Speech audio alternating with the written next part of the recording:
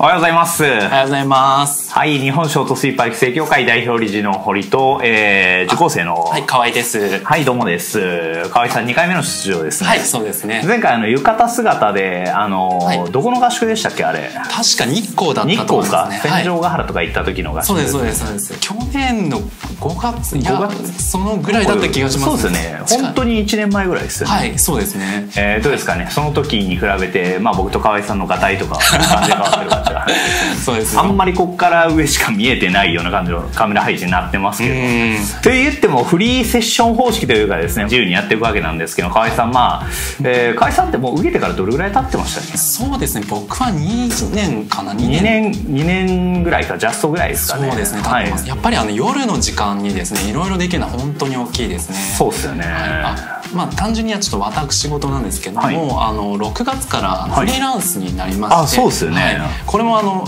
ちょっと結構単民のことがめっちゃですね、影響してると思います、はい。あの結構帰るのが大体はい。21時とか、そういったぐらいの時間に帰ってたんですけど、あの単民やってるおかげで2時3時まで全然あの時間があるから、はい。そこであのグループでプログラミングのはい。なんかグループみたいなので作ってそはい。のサロンみたいなので、えっとコーディング版というかはい。プログラミングをたくさんしてたんですよ。はいはいはい。ですごい時間が取れてそこでその自分のあの底力というか、はい。っていうのを上げることができましてで、えっとまあ、あのフリーランスでちょっと案件をいただくことになったんですけども、はい。結構皆さんからその評価が高かったりとかあそうなんですね。はい、結果的にすごい単民があの、はい。すごいあの助けられてます、はい、あのお給料もですね、はい。あのまあ、ほぼあの1.5から1.8ぐらい倍ぐらい上がりましたね。はい。はい。の状態になってフリーランスに転向。あそうですそうです。もう A 点 A 点みたいな感じです、ね、はい、いい感じに、まあ、これからそこにあの、はい。やっていけるかっていうところもあるんですけど、はい。まあ、あの夜中に時間があるっていうちょっと安心感がでかいですね。そうですね、まあ、あとフリーランスになってよくありがちな現象としては、はい。こう朝に起きれずに昼から仕事スタートみたいな、まあ、夜はい。中使えると言ってもこう昼になる人って結構いたりするんですけど、はい。結構ショートスリーパーだと午前っていうのを有効活用してるっていう人が多いっていう。はいそうですね。ショートスリーパーになった時に、はい。そのあのレッスンを受講した時に、朝のこの「起こしてみ」っていう。ああなるほど。アプリケーションあります、アプリケーション的な、はい。あそのアプリを使った時の、はいまあ、目覚ましアプリを、えー、と使っておけばあの起きることであんま苦労しないから、はい。あの朝にその強くどんどんなっていくんですよね。はい、まあもちろんあの自分でやってる人たちからしたらそれでもなお止めたりするでしょうけどね。そうですね。やっぱそこがやっぱあのいいところなのかな。受講して、その知識をいただいたことによってそこの大切さっていうのが分かったので、はい。もっともっとその朝を有効活用できるっていうのが大きいですね。はい。まあ、フリーになって本当自由になったらこう昼まで寝てたい、まあ、そういう願望がある人って多いと思うんですけどまあ、それは別にいいと思うんですよ、すごく自由で、ただまあその結果として仕事の案件が遅れてしまったりとか、はいはいはいはい。まあ、何よりできないとか、まあ、本来あのお勤めの時には10時間ぐらい働いてた人がうんフリーになった、俺は自由だそれは構わないんですけどもはい。3時間労働ぐらいになったらそれは勝てるわけがないという。そうですね。なんかすごいアドバンテージを得てなんかちょっと申し訳ない気持ちいやいや。若干なりますよね。森中さんもおっしゃってましたけど、まあ僕ら得してる側なんでっていう はい。有給先生とかもあの、まあ、僕ら朝方にゲームやったりとかもあったり夜中もゲームやったりってあるんですけど、はい。あの単民になった時間でゲームっていうのをするのはこうなんというかできた時間を有効活用してない気がするみたいなご意見もあったりはするんですけど、はいはいそれはそれで人生の充実度だったりとか、はい。まあ良し悪しって判断していただいたら当然いいと思うんですけど、うんあのゲームやってる者同士が、まあ、つながりが深くなってはいはい。仲良くなって、うん。結局単民仲間同士とかでこう仲が深くなって友達同士の交流時間が増えたら、まあ、より気楽に単民ができるというかそうですね。肩の力抜けるとかありますよね。はい。うん。やっぱりあの結構夜更かしする人がいてもまあそ一、うです人だけだったりすると、はい。あの孤独感ってあるんですけどそうですね。やっぱショートスリーパーさんの集まりがあるから、はい。そういう人たちとあの交流がその夜中にできるっていうのは結構でかいですね。そうですね。夜中とかもう0時回ってから、はい。あれですもんね。オンラインサロンみたいな。の開いて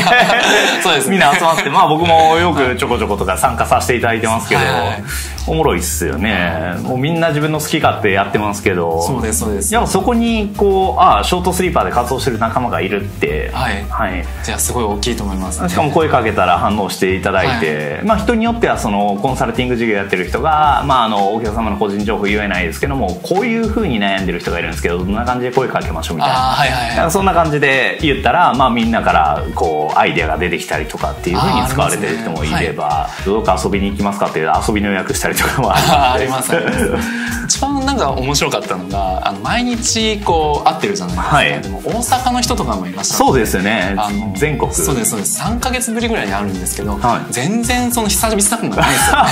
そうですよね。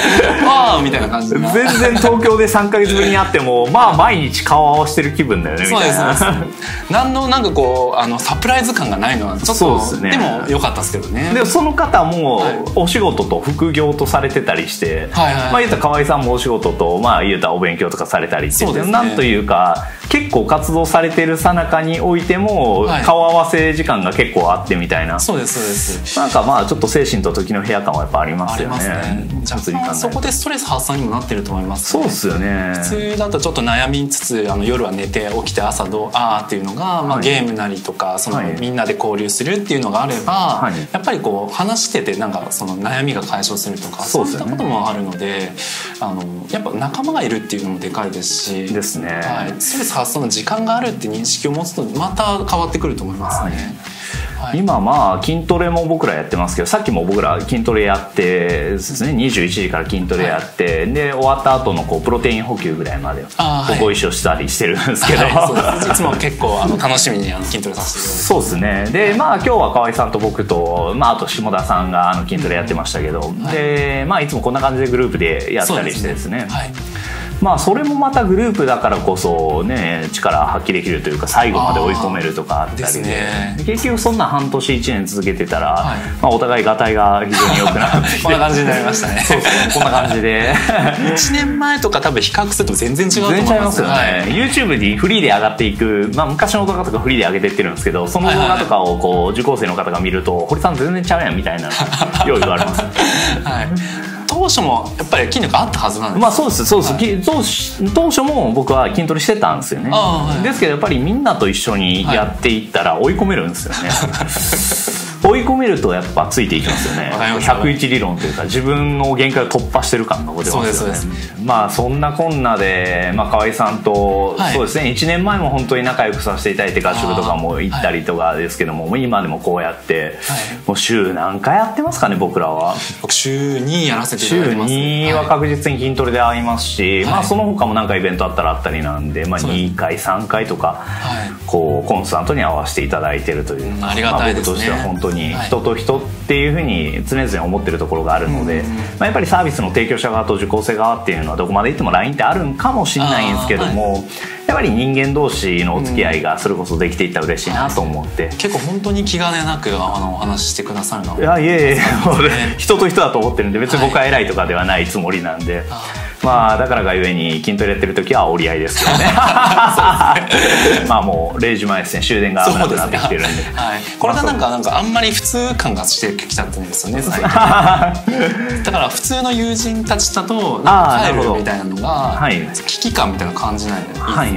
まあそうですよね。はいご迷惑をおかけしない範囲でです。そうですそうです。僕ももう10年単民10年選手なんで、はい。もうその普通っていうのがもう単民になっちゃってるんで分からなくなってきてるところもあって、はいはいはい。それは重々気をつけないととは思ってるんですけどね。はいやっぱり2年とかでもそれでもなおバグってくると思うんですようん若干ですね若干はいなので、まあ、またちょこちょこですねこうやって顔出しというか動画でもしていただいてまあ、経過というか、はい。まあ、2年半経ったらどうなったかとか3年経ったらどうなったかとかそういうのって多分あの継続できてるのかなっていうふうに正直思ってる人もいるでしょうしはい。まあ、やっぱり痛みになった人が数年経ったらどうなってるのかなって気になってる人いると思うんで,、はいはいはい。で同じ人の経過っていうのはやっぱ見たいっていう要望あると思うんですよね。ああなるほど。まあだからそういう形でよかったらなんですけどあいやもちろん。のフリーランスになった後じゃあ河合さんは成功されたのかみたいな。ああすごいプレッシャーかかりますね。あのね。まあまあ本当にフリー自由ってモンゴルの真ん中にそれこそバーンって放置されると人間って寝るらしいんですよね。ああ気をつけないとですはい、ねだからあの本当のフリーになった時って人はやっぱりこうやることなくて睡眠に走るとか